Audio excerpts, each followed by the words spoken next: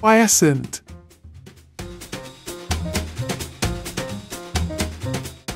Things that are quiet, inactive, or in a state of peaceful rest.